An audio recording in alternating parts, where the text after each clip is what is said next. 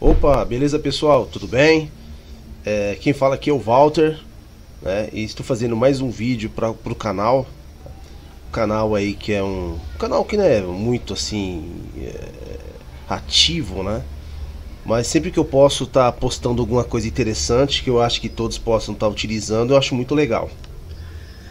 Primeiramente, é, eu estou utilizando aqui uma máquina com Linux, tá? Lubuntu e muita gente tem bastante dificuldade de estar tá utilizando esse sistema, justamente por causa das dependências.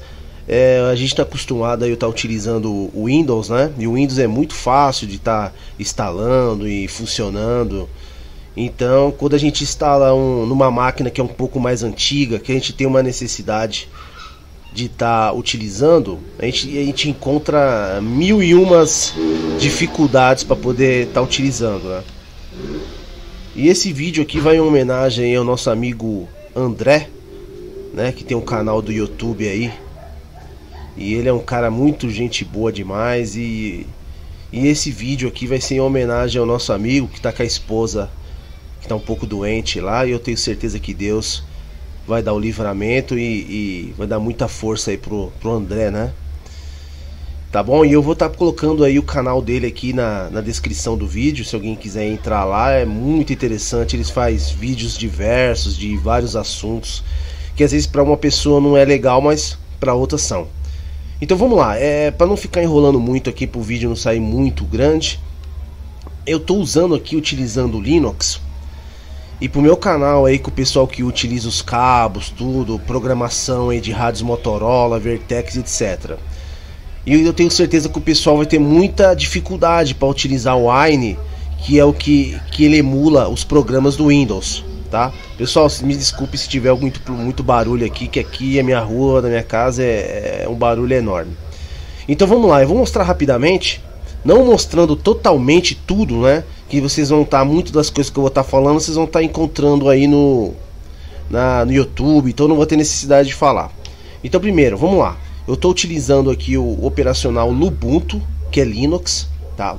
Para mim poder estar tá utilizando aí o software da Motorola, o que, que eu fiz? Primeiramente, eu fiz o download do VirtualBox, tá? Esse VirtualBox é um aplicativo, aí, um programa, um software que todo mundo conhece, não tem dificuldade. Se você quiser é, é, procurar na internet aí, no YouTube, com certeza você vai encontrar. Se vocês não encontrar, eu posso estar até fazendo um vídeo aí mostrando como que faz a instalação. Mas vocês vão fazer o que? Vocês vão estar tá procurando aí no Viva o Linux, vai ter lá também, que é instalando é, o VirtualBox no, Ubuntu ou no Ubuntu, que é a mesma, né? Vai funcionar direitinho. Então o que, que eu fiz aqui? Eu fiz aqui uma instalação do VirtualBox dentro do, do Linux, certo? Peguei uma imagem do Windows 7 na internet, fiz a instalação, fiz a criação de uma máquina virtual dentro do, do VirtualBox, dentro do Linux. E com isso, o que, que aconteceu? É, me deu uma máquina virtual Windows, certo, gente? Uma máquina virtual Windows que vocês estão vendo agora, tá? E dentro dessa máquina virtual é, Windows, é, aqui em propriedades, né? Se a gente for aqui em computador, aqui em propriedades, nós vamos estar tá abrindo aqui na parte de sistema, onde nós vamos estar tá chegando em gerenciador de dispositivos.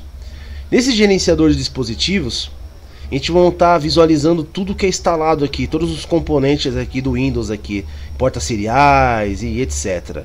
O que é interessante para nós é aqui em portas seriais, onde vocês estão vendo aqui a porta de comunicação com. Legal. Mas o que, que acontece, pessoal? É, esse cabo de programação ele não está instalado nessa máquina Windows, e sim instalado numa máquina Linux, né? Então, como que eu fiz para conseguir chegar até aqui? Então, vamos lá. Eu vou fechar aqui, tá? Depois eu vou abrir novamente aqui. Depois eu vou ter que fazer um corte no vídeo para não ficar tão grande.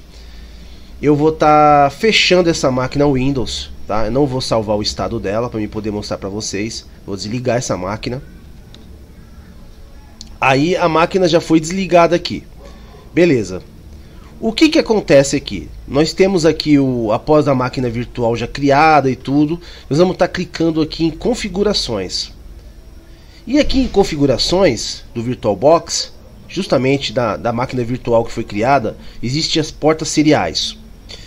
Dentro de portas seriais, aqui vai estar tá desativado, vai estar tá, não, dá, não vai estar tá funcionando. Então o que, que a gente vai fazer? Nós vamos estar tá colocando aqui em com 1, com 1, modo da porta vai estar tá desconectado. Nós vamos colocar dispositivo no hospedeiro. E em terceiro, o caminho aonde vai estar tá esse cabo, nós vamos estar colocando aonde a porta vai estar mostrando a porta do cabo, que é barra dev, barra TTY, USB 1. Como que vocês vão descobrir isso daí? Então vamos lá. Vocês abrindo aí o terminal, né? Vamos abrir o terminal aqui. Vou dar um Ctrl L para apagar. Vocês com o terminal aqui aberto, vocês vão estar colocando este comando aqui, dmesg, certo? Vamos aumentar um pouquinho aqui para você estar visualizando um pouco melhor. Vocês dando esse comando dmesg, o que, que vai acontecer? Ele vai mostrar tudo aqui, ó, a, a, os dispositivos que estão aqui na máquina funcionando e tal e tal. O que, que a gente vai querer ver aqui? Qual, o que é importante para a gente? É o PL, PL2303, que esse aqui é o cabo. Esse é o cabo que a gente está utilizando aqui, que é, é driver a prolific, certo? Então o que, que ele diz aqui pra gente aqui? Ele diz, né, que o cabo foi detectado, que está na porta USB, e ele fala que esse cabo está, né, em qual porta? TTY USB 1, né? Então ele diz que esse cabo agora, né, está atracado, vamos se dizer aqui, está ligado à porta USB TTY USB 1, beleza? Então você já sabe que ele está ligado a essa porta. Tá ligado a essa porta? Legal. Então o que, que você vai fazer? Voltamos aqui, né? Configurações, portas seriais, e aí você vai estar tá colocando aqui barra DR barra TTY USB 1, certo? Então aqui, com essa parte, vocês já vão estar tá sabendo como localizar a porta do cabo e, e como inserir aqui no VirtualBox na sua máquina virtual. Beleza, até aqui tudo bem? Tudo bem. Agora precisa só mais uma coisa, pessoal. Como nós sabemos, o Linux ele é um sistema muito forte em proteção, né? Então o que, que você precisa fazer aqui para poder ter liberdade de estar tá utilizando essa porta? Vocês precisam dar um comando aqui no Linux, né? Vou dar um Ctrl L para limpar a tela. E que, qual o comando que vocês precisam dar para poder estar tá utilizando? Vocês precisam dar esse comando aqui, pessoal sudo chmod 777 barra dev barra tty usb 1 o que, que vocês vão estar tá fazendo com esse comando pessoal? Vocês vão estar tá liberando o acesso certo? Do VirtualBox à porta barra dev barra tty usb 1 certo? Então o que, que vai ser feito aqui? Aí você vai dar um enter ele vai estar tá pedindo a senha do seu Ubuntu do seu que você adicionou né? Então eu vou estar tá colocando a senha aqui do Ubuntu. Pronto, pessoal, ele já deu a liberação, tá? Para a porta TTY USB 1. Beleza? Já foi dado essa, essa liberação? Ok. O que, que a gente vai fazer agora? Vamos subir a nossa máquina virtual Windows 7 dentro do Linux. Vamos lá. Aí já vai estar tá inicializando aqui o VirtualBox 6.1. Eu não desabilitei aqui a, a parte do DVD, né? Então vamos lá. Então ele vai estar tá dando a inicialização aqui no, no Windows 7, que está no VirtualBox, né? Então vamos lá. Como eu desliguei a máquina interruptamente para o vídeo não ficar muito grande, ele deu esse erro aí. Mas vamos lá. Nós vamos estar tá clicando em inicializar o Windows 7 normalmente. Então, pessoal, eu vou, eu vou aguardar a inicialização do Windows Opa, pessoal, show de bola. Então já é, voltei aqui, tá? Eu vou dar um, um pequeno corte aqui no vídeo para não ficar muito grande e aqui nós já voltamos aqui visualizando o Windows 7 sendo executado no, no VirtualBox, certo? É, e agora o que, que a gente vai fazer, pessoal? Vocês vão estar tá instalando o software da Motorola, que é o, o do que vocês vão estar utilizando, né? Do ProSync 100, do Vertex ou do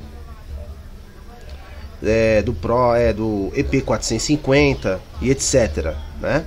Então, como eu fiz esse teste aqui, eu vou estar tá fazendo com o HTP450 da Motorola. Então, eu já fiz aqui o cabo, o cabo já está ligado, já está feita a pinagem, tudo certinho. Então, nós vamos aqui vindo aqui na máquina virtual em Motorola, que já foi instalado aqui o software aqui na máquina, tá? E vamos criar em CPS, clicar, né? Aí ele está abrindo aqui o programa de programação do EP450 da Motorola. Vamos dar uma maximizada aqui para poder ficar maior, né? É, aí precisamos clicar aqui em editar, preferências e aqui você tá, vocês vão estar tá escolhendo a porta com que justamente a gente já tinha escolhido lá no VirtualBox, que é com 1, modo avançado e daremos OK. A partir disso, pessoal, o rádio aqui já está ligado, tá? O HT, cabo ah, ligado na, na, na, na, P1 e aguardando é, o comando. Então vamos clicar aqui em, em ler o rádio. Aí ele já começa a ler o rádio. E agora nós já temos aqui é, as opções de programação do rádio, onde nós temos aqui a, as configurações gerais, acessórios, botões, né, que você pode estar tá mexendo, sistemas de MDC, SIS1, é, né, então nós temos aqui é, todas as funções aqui do HT, aí nós temos aqui os canais, onde a gente pode estar tá editando, clicando no canal 8 aqui, aparece a frequência, que esse HT aqui ele é de UHF, em 438 550, né? Então aqui você vai poder estar tá fazendo as modificações. É isso pessoal. Então esse aqui foi um vídeo é, é interessante, tá? Para muita pessoa aí que às vezes não está com a máquina aí com Windows e não tá legal, a máquina tá travando muito, não tá aguentando, não tá suportando, que é o meu caso. Então eu fiz a instalação do Ubuntu, que no caso é o Lubuntu, né? Que é uma versão mais leve do Ubuntu. E a máquina tá rodando muito bem, Tá show de bola, tá funcionando muito bem aqui. Então eu tô me dando muito bem. Eu já tinha uma facilidade com o Linux, né? E é interessante você aprender também a mexer num outro operacional, né? Então aqui tá esse vídeo aqui que eu vou estar tá postando no canal pro pessoal tá assistindo. Eu tenho certeza que vai ser interessante, que vai ajudar muita gente. Beleza, pessoal? Se você gostou desse vídeo, você dá um like aí para ajudar, né? E se inscreva no canal, que com certeza eu vou estar tá é, criando novos vídeos aí referente a rádios, né? E eu tenho certeza que o pessoal vai gostar. Tá bom, pessoal? Muito obrigado. Uma ótima tarde, né? Quem estiver assistindo agora, à noite e um bom dia. É, vai saber que hora que o pessoal vai estar tá vendo aqui, né? Valeu, pessoal. Um abraço, tudo de bom e até o próximo vídeo.